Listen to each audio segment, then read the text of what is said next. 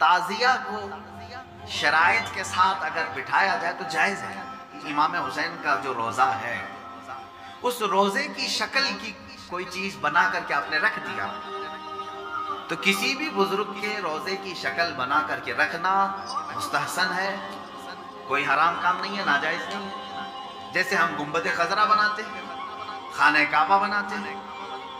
होता है, गुंबद खजरा जहाँ होगा, हम ताजीम के साथ देखते हैं। हाँ मैंने कहा कि ठीक है, मौला हुसैन के रोज़े की शक्ल बनाओ, हर घर में बना करके रखो।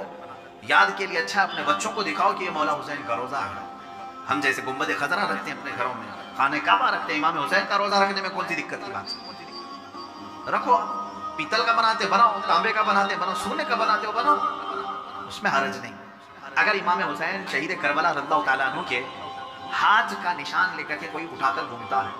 मैं तो कहूँगा, हाथ क्यों उठाते हो? उससे बेहतर है कि मौला हुसैन का कदम उठा करके घूमे। क्योंकि हमारे लिए उनके कदम तक पहुँचना भी बहुत दूर की बात है।